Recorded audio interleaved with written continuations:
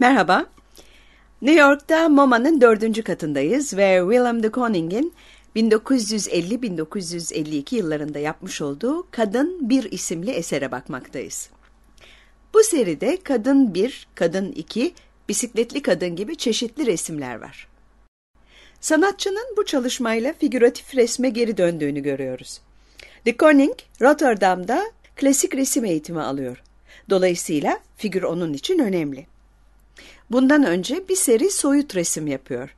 Sanatçının figüre dönüşü bu resimle başlıyor. Resimde gördüğümüz figür gerçekten çirkin.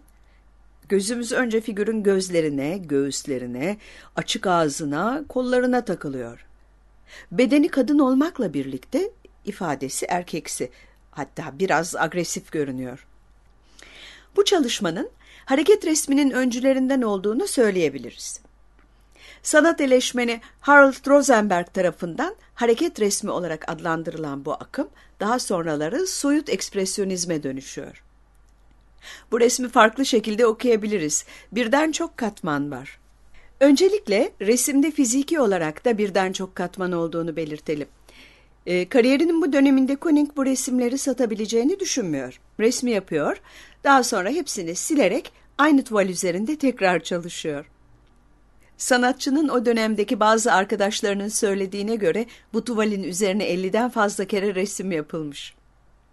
Sanatçı eserini kendi beğenene, kendi yaptığından tatmin olana kadar aynı tuval üzerinde tekrar tekrar çalışıyor. Boya katmanlarının ötesinde resmin izleyici tarafından algılanmasında da farklılıklar var. Bazı izleyiciler burada eski dönemlerin bereket tanrıçalarını algılarken, bazı izleyiciler İkinci Dünya Savaşı sonrasına cinselliğin farklı algılanmasına ilişkin eleştirel bir bakış açısı görüyor. Degas'ın eserlerinde gördüğümüz kadın bedeninden veya Willendorf Venüs'ünden oldukça farklı. Koning, çıplak kadın bedenine farklı bir bakış açısı getiriyor. Bir baksanıza, resimdeki kadın hem heykelsi hem de kaligrafik bir figür gibi. Hoşçakalın.